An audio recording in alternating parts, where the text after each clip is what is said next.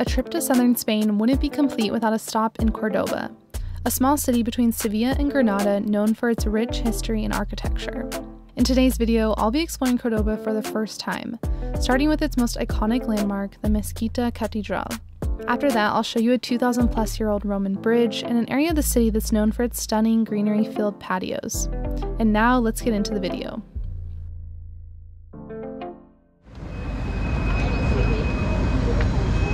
Exploring Cordoba today with three girls from Sevilla.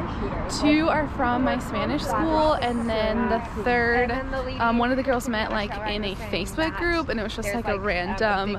Um, they connected, and we all met today. So there's kind of this joke of like, oh, is she, you know, is she gonna be a six-year-old man? We don't know. We'll see. But she's not. She's a normal girl from Canada. This is Annie. Hi there. From my Spanish school. Hey, I'm from Spanish school. she has the most Spanish. No, you oh, can sorry. talk. Okay. like, be, like, be normal. Okay, and then this is Boo. Oh yeah, American, English girl, and then Canadian. This is Hi, the. I'm Mary. This I'm is from, Mary. I'm okay. from Ontario. she's from Ontario. She's the one we just met today, and we're very glad she's not a six-year-old man. Marty. They love it. They've been there for like four years. I love gardens, but I can't keep anything alive. Straight up. Don't like it.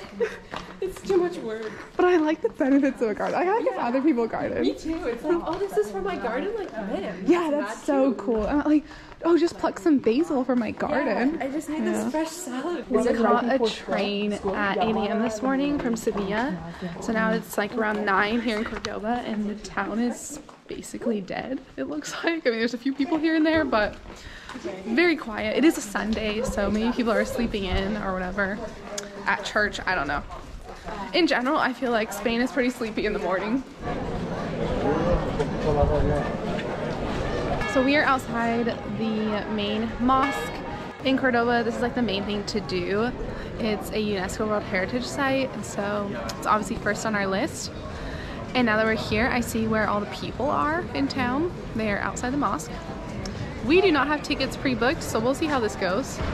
And we're not sure since it's a mosque, like if we're gonna need to cover up or what the standard is for this one since you said it's not an active mosque? I don't know, I don't think so. Okay, we shall see.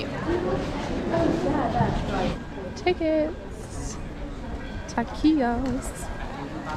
Entrance for residents, Bell Tower Mosque. Adult large family. How was adult large family six? Okay, whatever. Welcome inside the Mezquita Cathedral, a UNESCO World Heritage Site. This unique building was originally a mosque but was later converted into a cathedral. Because of this history, it has varying architectural styles that represent both Islamic and Christian influences. It is interesting because you can clearly see some things that are very much like, okay, that is, you know, more of a mosque style, and other things that are very much cathedral, and yet feels like they blend together nicely, you know? Like you can see older parts and newer parts, and it doesn't look like there's a fine line between it, like it all, it makes this place what it is today. Some very old fancy books. Know, just some casual reading back in the early days.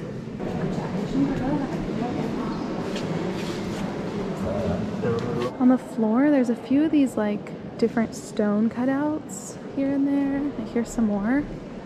And I wonder if these are tombs because I can't figure out what else that would be. You know, what else would a purpose be of that? But I feel weird stepping on them, so I'm like, just in case.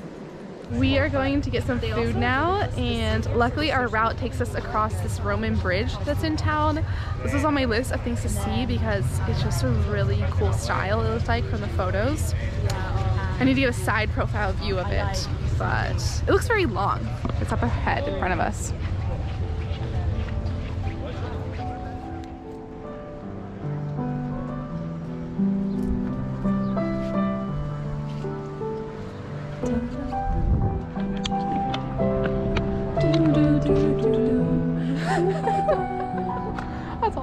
I know, me too.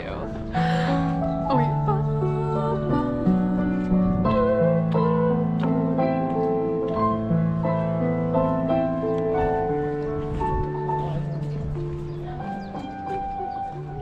We are getting lunch now and it's always a risk when you pick a place but I think it's solid. So what did you guys get? Boo. Sorry, you just took a bite. Okay, do you want to start? Okay. An acai bowl. Looks lovely. We're all waiting. We know which I one. got the uh, Benedict Royale. It's it's avocado and salmon and eggs and hollandaise sauce. Okay, and the one we're waiting for. are the best. I got the breakfast that was called El Mareado, which means the dizzy, so it has a little bit of everything. I have some smoked salmon, whipped ricotta toast. I have some hummus and crispy treats, and then I have a yogurt granola parfait and a little green salad. And it came with a juice Oh, and a juice and coffee. So everything you'd want in a breakfast. so good. Holy crap! And I also got this, which is which is fine, but the brunch spot was a win. And now we're gonna make our way back to the cathedral because there's like a mass or choir thing going on around noon, and we want to just hear like the organs playing in there. We thought that would be cool. And the Roman bridge we walked on to get here had like this little marsh walk looking thing on the side. So we thought that'd be a good way to go back and then we can get like the the side profile of the bridge and also see some little ducks and things. We love a good nature walk. We're looking for the little marsh walk, but we're not sure if it's actually open. Access res- restricted, maybe? Uh, well, they have the same idea.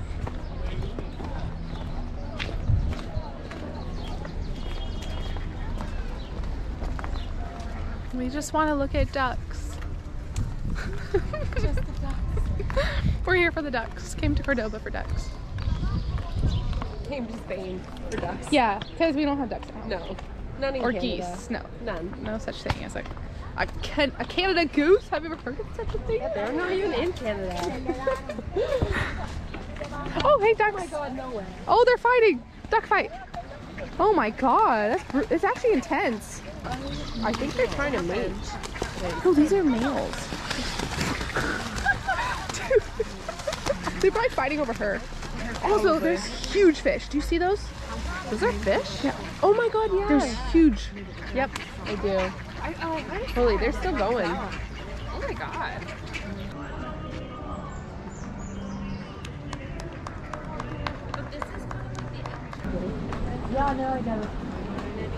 So it's an hour and 40. And you can't leave? Yeah. Um, So up to you guys. I think it's a long time. I'm time. gonna pass. And they're going to be speaking in Spanish, and we won't really understand. The mass is an hour and 40 minutes, and you're allowed to go in, but you need to stay for the whole thing, which is totally understandable because they don't want people to like disrupt probably the service. So we are gonna pass and see what else there is in Cordoba.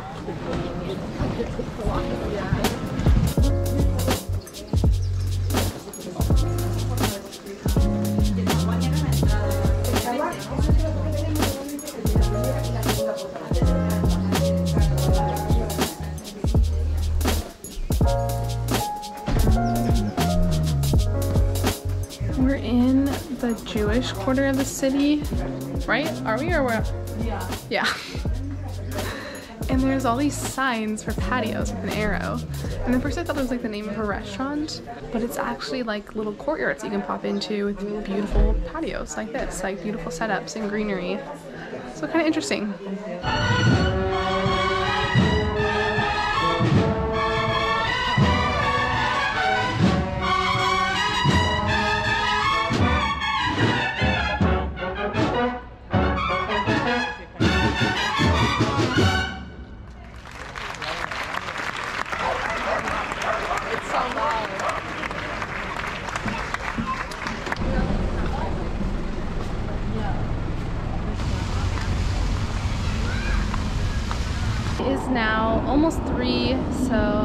Train back, and the other girls are gonna explore the city for a bit.